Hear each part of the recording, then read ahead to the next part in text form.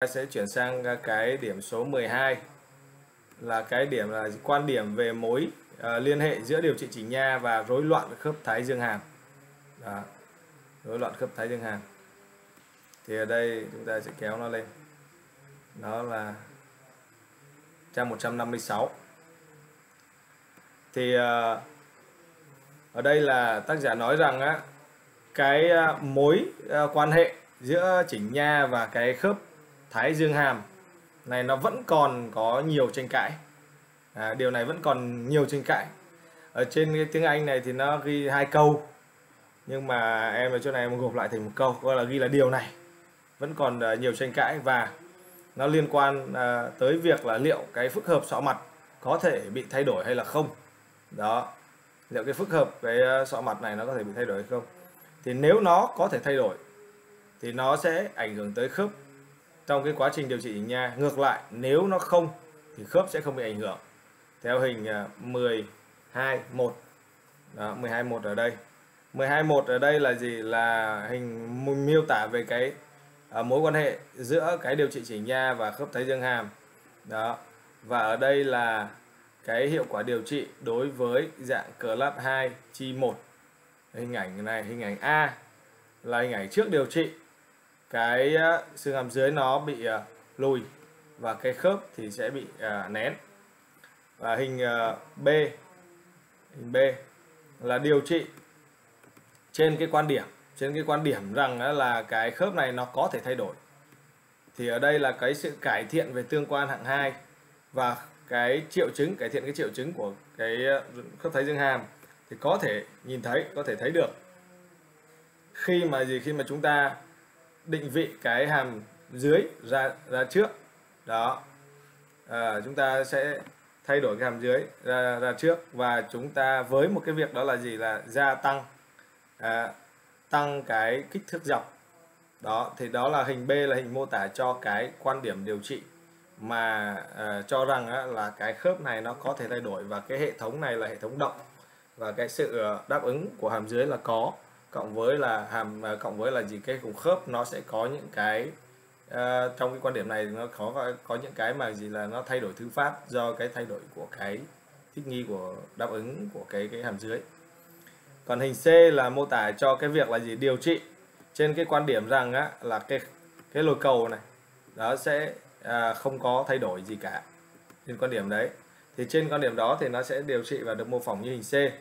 Thì nếu mà cái ờ, cái hàm ờ, cái răng ờ, hàm nhỏ được nhổ á, để kéo lui nếu răng nhỏ để kéo cái lui cái nhóm răng trước bị nhô. Đó. Hàm trước hàm trên bị nhô. Đó đây là hạng hai chi một nhé. Thì nếu mà trong trường hợp này mà nhổ răng hàm nhỏ để mà kéo lui cái nhóm răng trước bị hàm trên bị nhô thì nó có có nhiều khả năng ấy là nó sẽ gì? Nó sẽ giảm kích thước dọc và nó sẽ làm uh, cái hàm dưới vốn đã bị lùi rồi nó bị lui ra sau hơn nữa. Further backwards. Đó được position để được uh, định vị uh, lui sau nhiều hơn nữa. Đó. Đó là cái uh, phần dẫn của cái này. Thế bởi vì là bởi vì là chỗ này em đã dịch rồi cho nên là phía chỗ hình ảnh này thì em bỏ qua em không dịch ở trong cái phần này. Nó nó là cùng một ý thôi.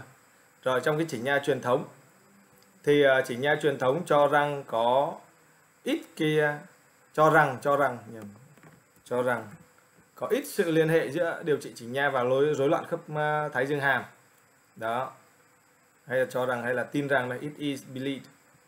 Đó thì là điều trị cái kết thúc với cái tương quan khớp cắn tương đối tốt nhưng vị trí và độ dốc của cái phức hợp lồi cầu địa khớp sau điều trị chỉnh nha thường không được đánh giá.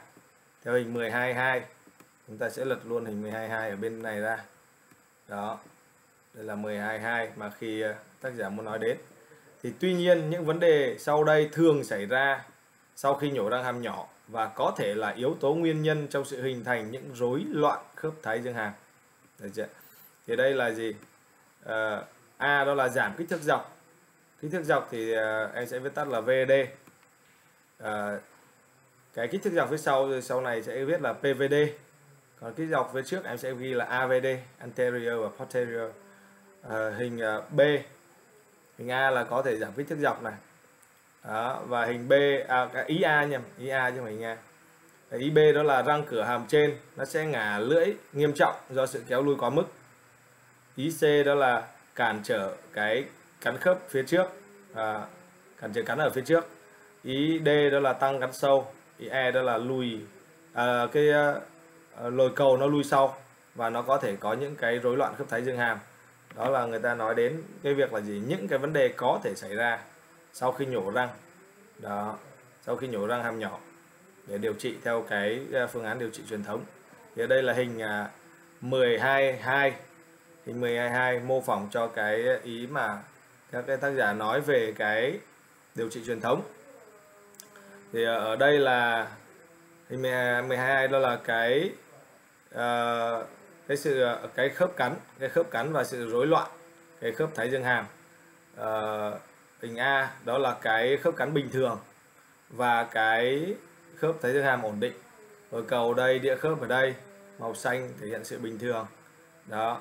Còn hình B là cái cái tương quan à, tương quan của cái lồi cầu và đĩa khớp bất thường ở trong một cái normal occlusion là một cái khớp cắn mà bình thường được khớp cắn được cho bình thường và và một cái bất thường ở chỗ này thì à, họ mô tả rằng à, ở đây là cái lồi cầu và cái đĩa khớp nó bị chật ra.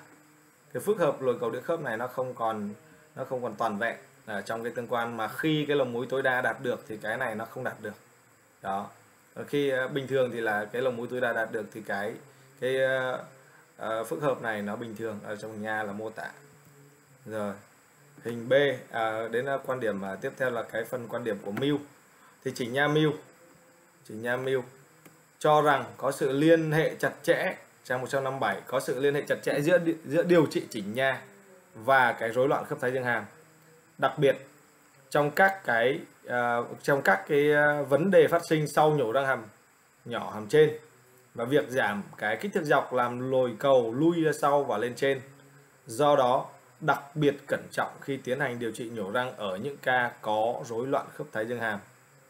À, chúng ta ờ, có nhiều tranh cãi cho nên là ờ, chúng ta để tránh những cái ờ, phức tạp trong vấn đề điều trị cũng như là những tranh cãi với bệnh nhân vào tất cả mọi thứ thì tốt nhất là đối với những cái ca nào đó mà đến với chúng ta chúng ta thăm khám cẩn thận và thấy rằng nó có những cái triệu chứng có những cái sự khó chịu có những cái bất thường trong cái vận động uh, hàm và vận động khớp.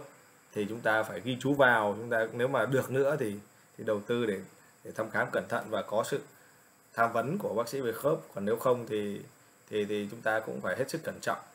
Đó nếu không là sẽ sẽ gây ra những cái có thể chưa chắc nó gây bệnh lý đâu à, mà nó sẽ nó sẽ làm cho chúng ta có những cái tranh cãi với bệnh nhân. Rồi, tác giả đánh giá cái CF CF là yếu tố kết hợp. Và trong cái buổi hôm nọ đã nói rồi. Đó là tác giả đánh giá CF tại thời điểm mà chẩn đoán để tiên lượng sự giảm cái kích thước dọc sau điều trị chỉ nha nếu giá trị CF cao hơn 155 CF một, cao hơn 155 CF cao thì cái ờ, góc nó sẽ là thấp. À và ở ca hạng 1 nhắc lại ở ca hạng 1 và ca hạng 2 thì người ta sẽ tính CF cao là CF cao hơn 155 CF thấp là thấp hơn 150 còn đối với ca hạng 3 CF cao là cao hơn 160 và CF thấp là thấp hơn 155 đó ca hạng 3 đó. Thì ở đây nếu mà tác giả nói như thế này á, thì nó chỉ là gì? Là uh, cao hơn 155 này á, thì nó chỉ nói đến cái ca hạng 1 và ca hạng 2 thôi. Nó không thể nói ca hạng 3 ở đây được càng 3 phải cao hơn 160 rồi nếu giá trị một CF cao hơn 155 nó được xếp loại là góc thấp và nên điều trị không nhổ răng. Nếu nhổ răng hàm nhỏ không đúng trong ca này thì nó có thể dẫn tới những thay đổi khác do cái giảm kích thước dọc. Thì cái này có một cái cái sơ đồ mà nó nói đến cái tương quan của cái ờ, ờ, uh, ODI, uh, à, APDI và CF trong cái việc phân loại nó là hạng 1 à, hạng 1 à, hạng 2 hạng 3 góc cao góc thấp à, cắn hở hay là cắn sâu cộng với là cái gì cái việc là có nhổ răng hay không nhổ răng. Thì cái này được à, gửi bằng hình ảnh vào trong cái nhóm Zalo của mình rồi thì các bác có thể mở cái phần file của Zalo ra trong trường hợp cần thì mình lật sẽ xem là cho nó nhanh. Còn nếu không thì lật sách ra thì nó cũng sẽ có. Sách ra thì mình lật sách uh, quyển mưu 1 ra. À, như một nói phần chương 3 đấy, nói về cái tương quan xương các thứ đấy, thì ở trong đó nó có, hoặc là mở clip à, hôm nọ đọc ra. Rồi, thì những thay đổi có thể xảy ra do giảm VD giảm kích thước dọc ở ca nhổ răng hoặc là không nhổ răng, thì những thay đổi này nó có sẽ xảy ra. Thứ nhất là làm tăng nặng tăng nặng sự nghiêng gần và ngả lưỡi của các răng sau. Chúng ta sẽ có cái hình 12 12 3 chúng ta xem đó. Đó. Đây 12 3 là tăng nặng sự nghiêng gần và ngả lưỡi của các răng sau khi mà giảm uh, cái kích thước dọc uh, của cái à, hàm đây. Hình 12 3 mô tả là kích thước dọc và cái góc uh, góc nghiêng của các răng. Hình A đó là cái kích thước dọc bình thường.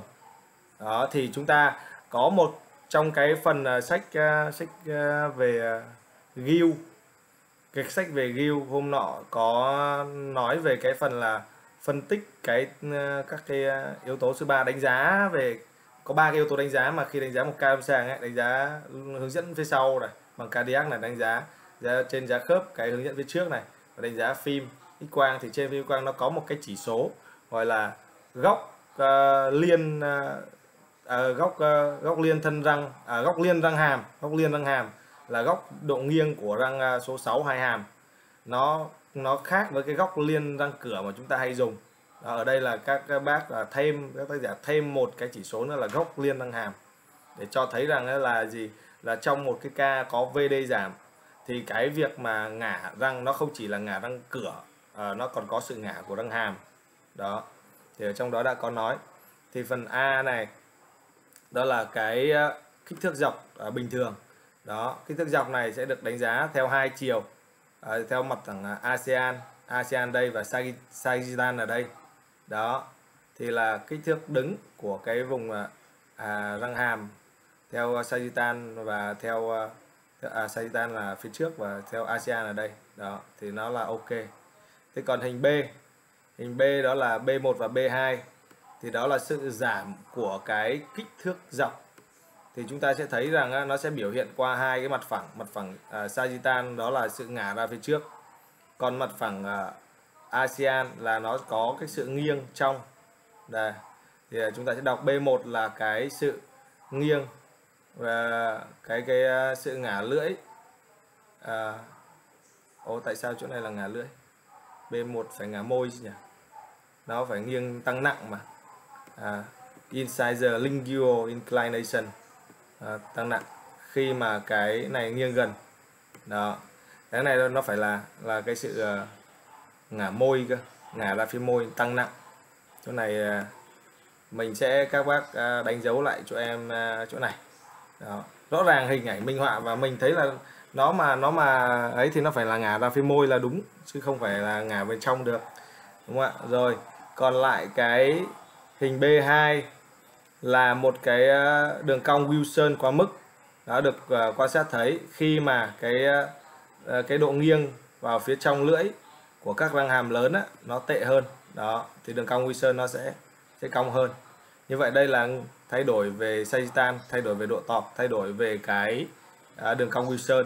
Còn đây là thay đổi về phía đường cong spi. À, đường cong spi thay đổi về sagittal thay đổi về độ tip chính gọi là độ tip độ tiếp đối với cái răng hàm và độ tọt đối với răng cửa. Cái chỗ này các bác đánh dấu cho em là cái này nó phải là labio. Labio chứ không thể là lingual độ nghiêng vào màu vào môi. Ở phía môi chứ không phải phía lưỡi. Rồi hình B là sự thay đổi của tư thế đầu. Thì cái sự flexion này á, thì nó nó cũng có hai cái cách uh, uh, dịch. Đó là dịch uh, nó là uốn sự uốn hay là sự gập. Đó, thì ở đây em cũng để cả hai cái đấy ra cho mọi người. Thì ở đây là 12 4 theo hình 12 4 này thì chúng ta sẽ thấy đó là gì là cái kích thước dọc và cái tư thế đầu. À, thì ở đây là gì? Họ nói rằng á là sự giảm của kích thước dọc à, nó sẽ dẫn đến là à, à, dẫn đến là cái sự à, xoay sự xoay sự gập của cái à, sọ à, xuống dưới à, xuống dưới downward and forward xuống dưới và ra trước. Đó xuống dưới và ra trước nó sẽ gặp lại xuống dưới và ra trước khi mà có cái à, uh, sự giảm kích thước uh, dọc. Và mặc dù là cái răng uh, hàm lớn hàm dưới nó có sự nghiêng gần uh, thì cái giá trị của POP nó vẫn là đó là vẫn là bình thường do sự uh, gập của cái uh, sọ này. Đó đây là hình A là cái diagram là cái à, đồ hình mô tả. Cái hình B đó là cái phim cephalo uh, phim sọ nghiêng. Và hình à, C đó là phim toàn cảnh và hình D đó là ảnh uh, trong miệng. Có nghĩa là mặc dù là nó một cái ca này nó có được rồi ai chat cái gì đây? À, nghĩ cái hình sai thôi chú thích chắc vẫn đúng vì nhổ răng cửa nhổ răng à, đi nhổ răng nhổ đi răng à, nhổ răng thì cái răng à, ngả lưỡi hả? À, thì ở đây chúng ta sẽ xem lại cái ý của bác Hải vừa nói luôn. À, đây là cái sự ngả lưỡi quá mức. Đâu rồi? Quay lại. Quay lại để xem. Ở đây nhé ở đây là gì là họ nói là gì? Những thay đổi sau có thể xảy ra do giảm VD ở cả cái nhổ răng và không nhổ răng. Ở cả ca nhổ răng và không nhổ răng bác Hải nhé. Chứ không phải là chỉ nói riêng mỗi ca nhổ răng. Đó là cái ý mà người ta nói ở ngay từ đầu. Đó. Thì như vậy cái việc mà giảm kích thước dọc á nó không nó nó nó không phân ra. Ở đây người ta nói là những cái hiệu quả này nó không phân ra là là ca đó có nhổ à, nhổ răng hay không nhổ răng. Sự giảm kích thước dọc nó nói vậy đó. Cái này là uh, đâu rồi? Làm tăng nặng. Sự ngả lưỡi của các răng sau. Uh, incisor. Ở chỗ này á là mình sẽ đọc lại nhé phần B là cái sự ngả lưỡi uh, của các cái răng. Cửa nó cũng sẽ uh, bị uh, xấu đi bị tệ đi khi mà cái răng hàm lớn nó nghiêng cái sự ờ, nghiêng của răng hàm lớn nó cũng nó nó nó xấu đi thì cái kia nó cũng sẽ bị kéo theo. Ở đây á không có nói gì đến cái vấn đề là sau điều trị hay là không sau điều trị cả. Đây chúng ta sẽ à, đây chúng ta sẽ đọc lại đoạn chỗ này tác giả đánh giá CF đây rồi. Nếu nhổ răng hàm nhỏ không đúng ở những ca mà CF uh, ờ, cao đúng không ạ? CF cao có nghĩa là cái góc nó thấp thì nó có thể dẫn tới những thay đổi uh, khác do cái sự giảm của kích thước dọc. Đó và những thay đổi này có thể xảy ra do những thay đổi à, ở phía ý trên khác và ý dưới nhé những thay đổi sau có thể xảy ra do giảm kích thước dọc này ở ca nhổ răng hoặc cả không nhổ răng. Được chưa xem lại này. Hoặc không nhổ răng này. The following uh, are changes that may occur due to a reduction in vertical dimension in extraction or non-extraction cases. Ok, như vậy là là nó không nó không không không có nói gì ở chỗ này liên quan đến cái việc là các bác sau điều trị hay không sau điều trị cả. Giảm kích thước dọc giảm kích thước dọc. Yeah. là là ừ, nó sẽ xây xảy ra những cái tình huống như thế này. Đó. Dạ, nó cũng sẽ bị ngả ra chứ nó không thể là ngả trong. À, mình không mình không uh, lấy một cái yeah. bởi vì là khi mà nó đóng lại chặt ấy, thì ờ, thì cái sự ngả lưỡi là một cái sự ờ, à, sự ngả trong là ngả ngoài là một cái sự rõ nét. Em chưa hình dung ra tại sao nó ngả trong cả. Thì chỗ đấy mới phải đặt là dấu chấm hỏi và chúng ta sẽ cần phải chúng ta phải tìm lại một số cái tài liệu khác để chúng ta xem có đối chiếu lại không. Được chưa đó. Thì ở đây là người ta nói là có những thay đổi về à, độ nghiêng của răng thay đổi về tư thế đầu và ý à, C hình 12 năm. Đó là thay đổi về cái à, độ lệch lệch lồi cầu lồi cầu lệch ra sau và lên trên trong hình 12 năm. Trong hình 12 năm. Đó. Thì à, cái kích thước dọc và cái vị trí của lồi cầu kích thước dọc giảm VD giảm thì cái uh, cầu nó bị lệch lên trên và ra sau. Đó nó bị đóng lên. Nó, nó thấp mà cơ nó kéo lên đó và cái răng này à, cái lồi cầu này nó bị lệch lên trên ra sau. Và cái à, quan hệ giữa cái việc là giảm kích thước dọc và cái sự à, trượt của à, di lệch của cái đĩa khớp thì đĩa khớp nó sẽ có sự lệch ra trước và đây là lệch vào trong. À, cái chỗ này là lệch vào trong. Đó. Như vậy là hình ảnh minh họa nó đã minh họa như vậy. Chúng ta có ba cái hình ảnh rồi thì ở đây à, trang này sẽ nói tiếp. Trang 159 sẽ nói tiếp đó là chỉnh nha mưu. À, thì đầu tiên là gì? Đầu tiên là sẽ đánh giá cái tình trạng của cái khớp thái dương hàm. Thì đúng rồi bởi vì là trong à, phần à, phần phần nói về hôm nọ đấy nói về thăm khám thì thăm khám đầu tiên người ta cũng bao giờ người ta thăm khám là về vận động hàm dưới và khớp thái dương hàm đấy. Rồi nếu khớp ở tình trạng tốt thì sẽ tập trung cho việc dàn đều răng. Ờ, khớp ở tình trạng tốt thì cũng tương đồng như cái việc mà mà họ nói là cái vị trí tham chiếu của hàm dưới là sinh lý hay là không sinh lý đấy. Nếu mà là vị trí tham chiếu sinh lý thì cứ thế mà điều trị, còn nếu mà không sinh lý thì phải tìm ra một cái vị trí tham chiếu điều trị để điều trị. Đó là hướng đến cái điều trị của cái khớp. Thế còn à, cái à, tiếp theo đó là gì? Hầu hết các cái mô trong cái hệ thống hệ hầu hết các cái mô trong hệ thống sọ hàm dưới. Hệ thống sọ hàm dưới thì thì các bác đã biết rồi. Hệ thống sọ hàm dưới hay còn gọi là gì là hệ thống là thái dương hàm dưới à, móng và phần cổ. Đó là cái trục trục dọc của cái sọ mặt. Đấy thì hầu hết các mô trong hệ thống sọ hàm dưới buộc hàm dưới phải định vị ra phía trước. Thông qua cái cơ chế uh, cơ chế của cái uh, hệ thống sọ hàm dưới đấy thì các cơ dây chằng à, thông qua à, thông qua cái các cái cơ học ở đây rồi. À, các cơ và dây chằng và những các cơ và dây chằng around gọi là xung quanh cái khớp thái dương hàm nó sẽ đạt được sự ăn khớp ổn định trong một cái trật tự được sắp xếp hài hòa. Đó. Tuy nhiên nếu vận động ra trước của hàm dưới bị hạn chế thì bất kỳ cái cấu trúc nào như là cái à, cơ và dây chằng mà đang cố định lồi cầu nó sẽ đều bị nén và à, hàm dưới đưa ra trước sẽ bị căng quá mức. Điều này gây ra rối loạn khớp thái dương hàm do tăng áp lực à, lên cơ và giãn dây chằng hình 126 hình 126 đây.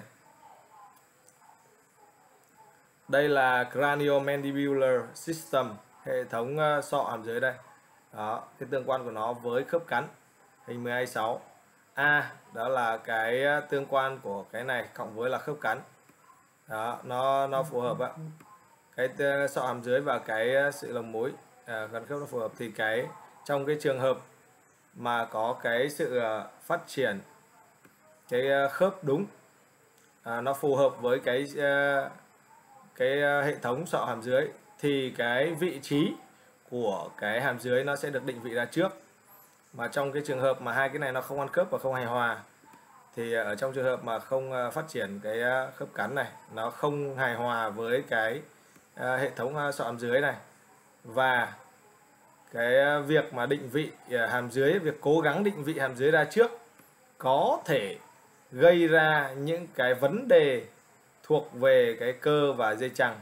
Có nghĩa là trong cái trường hợp mà nó bất hài hòa cái, cái hệ thống cơ này này nó cố định gắng định vị hàm dưới ra trước đó và trong cái sự nỗ lực của nó đó nó có thể gây ra những bất hài hòa. Đó.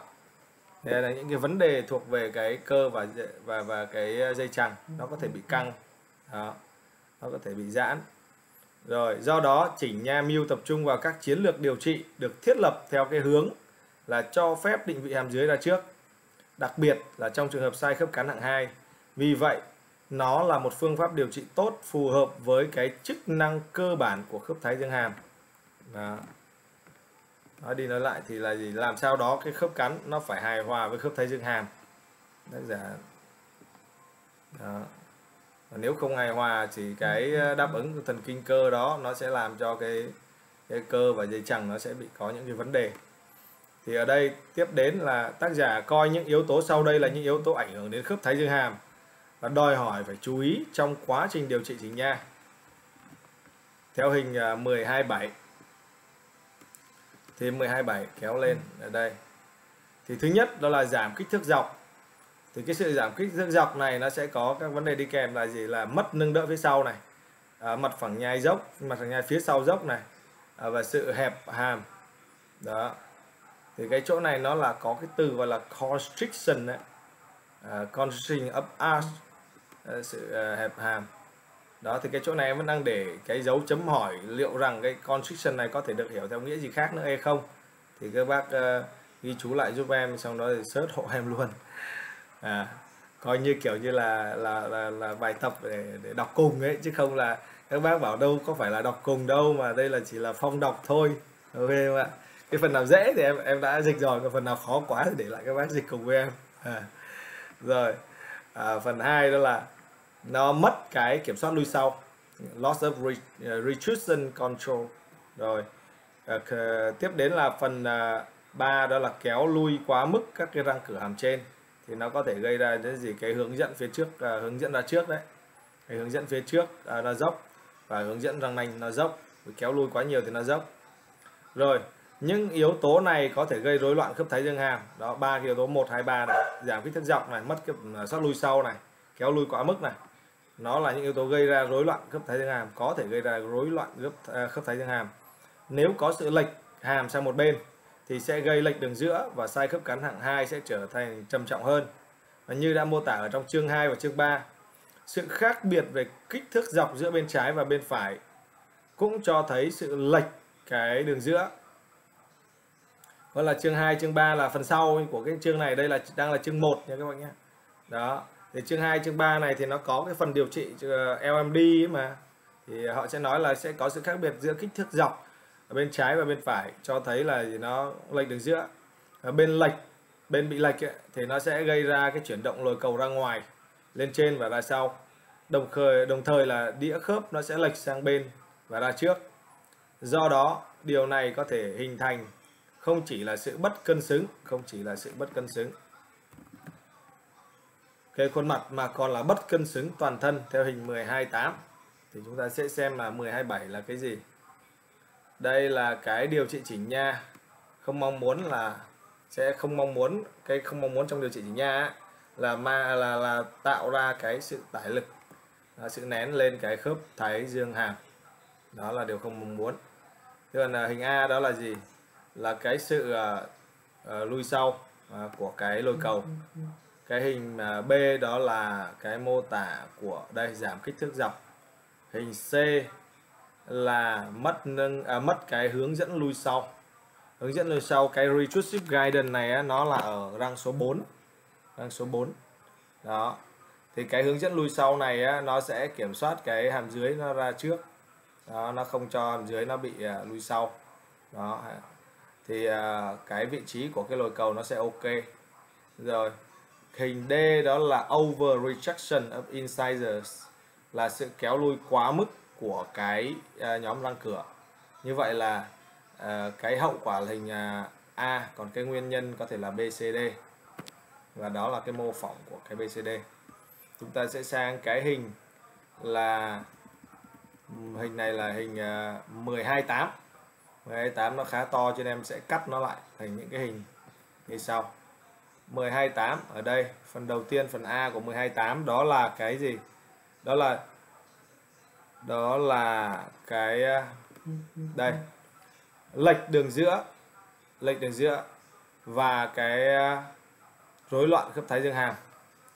Thì cái A là hình đây.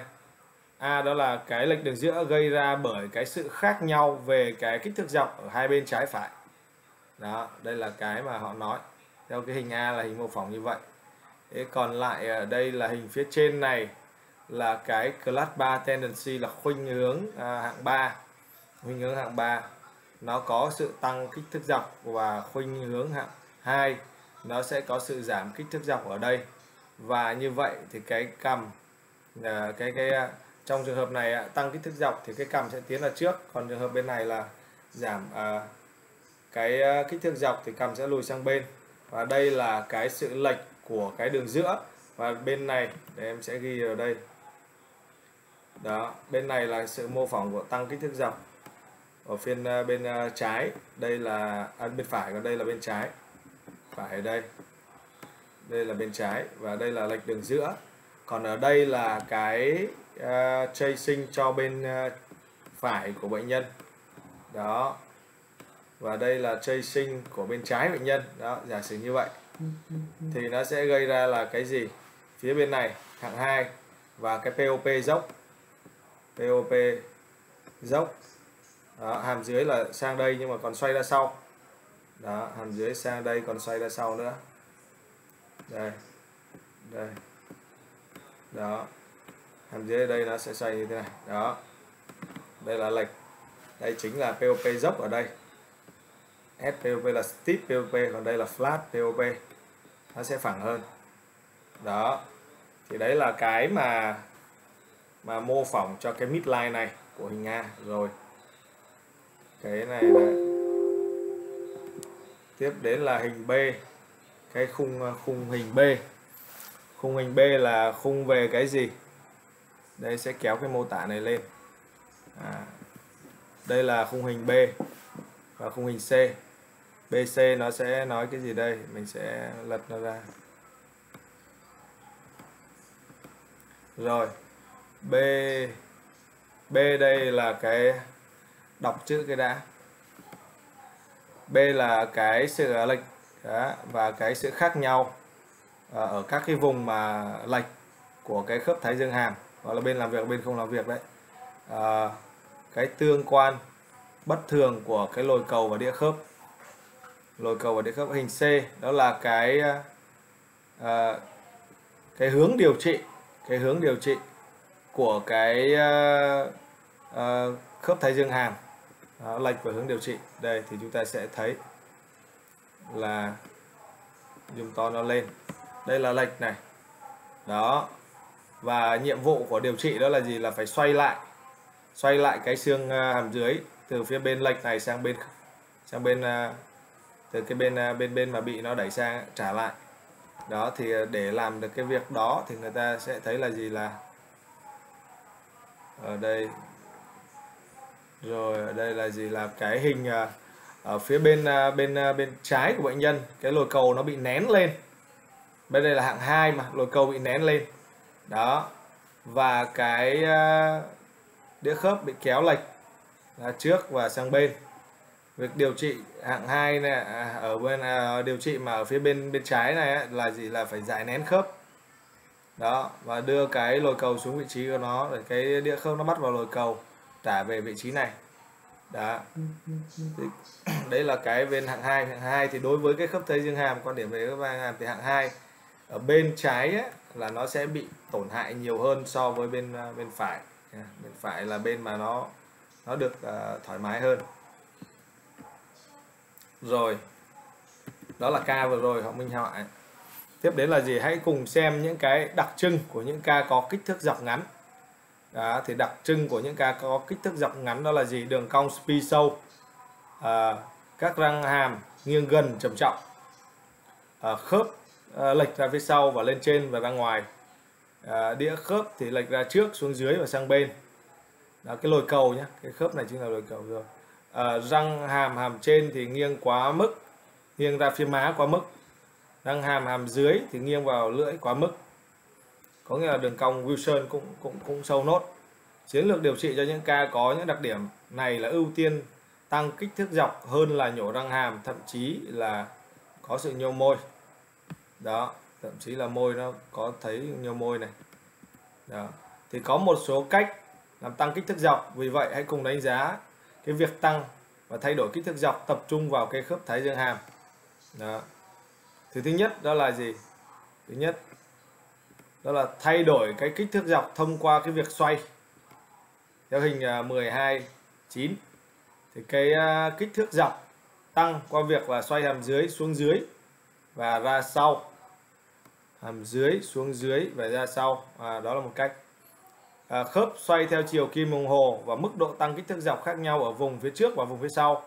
Và nó thường đạt được thông qua việc ghi dấu khớp cắn ở cái tương quan tâm à, và đưa về cái à, khớp cắn trung tâm bằng việc là đẩy cái symphysis xuống dưới và ra sau đồng thời việc xoay góc hàm lên trên. Theo hình 1210 là mô tả ở đây chúng ta sẽ có cái động tác đẩy. Đó động tác này. Đó và ở khớp cắn trung tâm thì à, không có vấn đề lớn nào nếu không có các triệu chứng khớp cắn à, triệu chứng của khớp thái dương hàm. Nhưng các triệu chứng sẽ tệ hơn nếu bệnh nhân có cái rối loạn khớp thái dương hàm. Do đó cần đặc biệt chú ý ở các cái trường hợp sai khớp cắn hạng 2 và góc cao.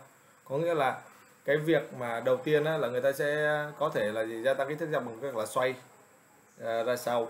Nhưng mà phải hết sức cẩn trọng bởi vì cái trường hợp mà khai sai khớp cắn hạng 2 góc cao thì nó sẽ làm tăng cái sự à, tăng cái nguy cơ rối loạn, đặc biệt là những bệnh nhân mà nó có rối loạn rồi hoặc là có nguy cơ rồi thì càng nguy càng nguy hiểm. Đó, thì ở đây là hình 12.9 hình 12.9 là cái sự tăng kích thước dọc thông qua việc xoay. Và mức độ ở đây là hình mô tả là mức độ ở phía trước với sau là khác nhau theo chiều đứng. Hình A đó là khi xoay, thì cái sự tăng à, kích thước dọc khi xoay là cái hàm dưới thì cho uh, thấy là cái việc là xoay ra sau và xuống dưới. Còn cái lồi cầu đó thì nó sẽ xoay theo chiều kim đồng hồ. Đây cái lồi cầu. À, hình B là cái tương quan lồi cầu và đĩa khớp bình thường. Hình C là tương quan bất thường với cái triệu chứng là gì là với những cái khớp thái dương hàm á, nó có cái triệu chứng thì có thể nó bị tăng nặng hơn do cái ờ, đĩa khớp bị lệch ra phía trước đó. Rồi đây là nếu mà làm theo cách này thì nó sẽ có nguy cơ như vậy. Hình à, 10 20 là ở cái à, khớp cắn ở tương quan tâm cerebri đó trong cái à, động tác người ta thăm khám như thế này người ta đưa ra kiểm tra. Thì cái gì? Lồi cầu xoay ra trước và xuống dưới. À, lên trên ra trước và lên trên. Còn hàm dưới thì xoay xuống dưới và ra sau. Ở cái à, cắn tương quan tâm. Hình hai ở cái hai ý hai là thay đổi khớp cắn à, à, thay đổi kích thước dọc thông qua cái phép tịnh tiến. Ở hình 12 11 12 11 12 11 đây kéo xuống. Gọi là tịnh tiến. Thì cái à, tăng kích thước dọc bằng việc xoay hàm dưới xuống dưới và ra trước xuống dưới và ra trước. Theo hình mô tả đây là tịnh tiến đó. Thì à, đầu đâu rồi xuống dần trước và xoay ngược chiều kim đồng hồ của khớp. Thì mức độ gia tăng kích thước dọc là như nhau ở vùng phía trước và vùng phía sau và thường được tăng lên nhờ cái gì?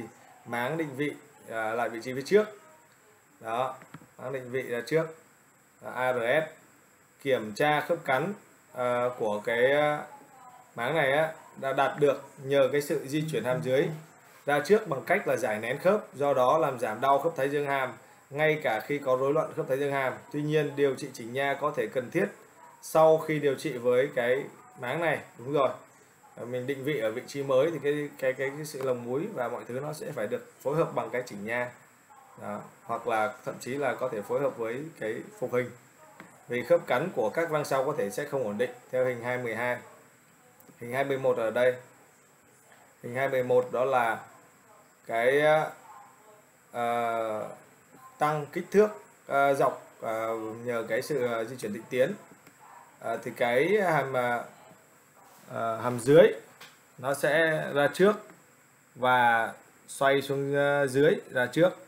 Và cái lồi cầu thì xoay uh, ngược chiều kim đồng hồ.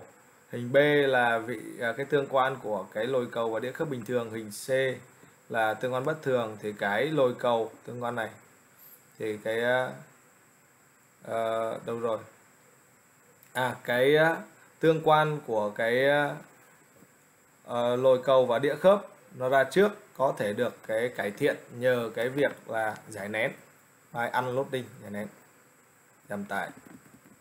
Và hình 122 là ở đây là tăng cái kích thước dọc và cái nhu cầu của cái điều trị chỉnh nha thì cái tăng kích thước dọc thông qua việc xoay thì cái điều trị chỉnh nha có thể là gì? À, không cần thiết sau khi điều trị à, với cái à, khí cụ ổn định khớp cắn theo hình A.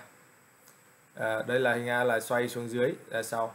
Còn hình B là xoay à, trong cái à, xoay xuống dưới ra trước trong cái chuyển động tịnh tiến ra phía trước.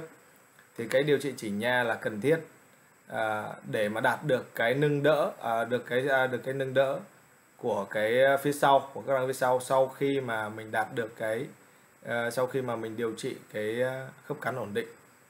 Ok. Đó cần phải có sự điều trị để mà ổn định cái đạt được cái nâng đỡ phía sau.